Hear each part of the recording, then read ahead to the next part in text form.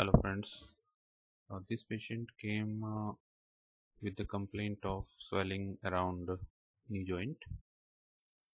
And uh, when we examined the patient uh, we noticed a swelling and redness in that area means sign of inflammation were present and uh, the fluctuation was positive. So it was diagnosed as an abscess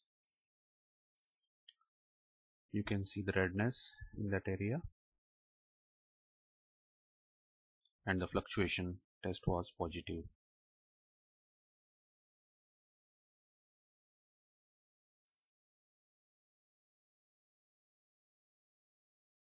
The opposite knee also had uh, an ulcer and in fact a cellulitis but uh, abscess was not there. This uh, erosion was superficial.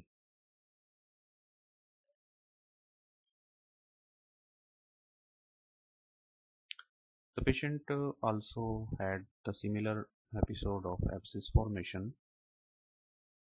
In the left knee and you can see a scar a huge scar.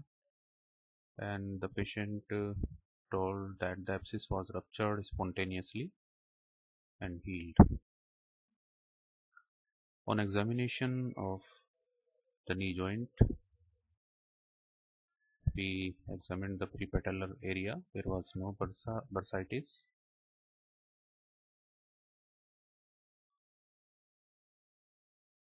So we performed an X-ray and ruled out the septic arthritis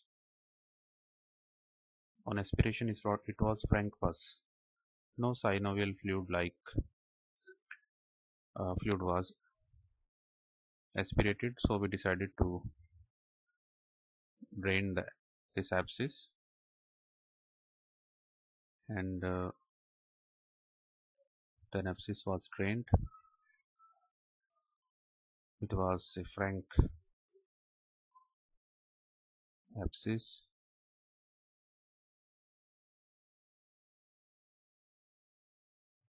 The procedure was carried out in OPD because the patient was in uh, great agony. So we performed the x-ray and all blood reports urgently on an urgent basis. After incision the incision was dilated with the help of a mosquito forceps. The slough in the wound was removed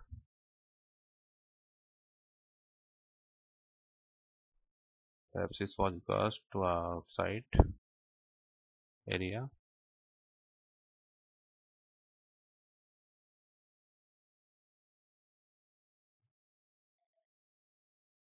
So we drained the maximum amount of this abscess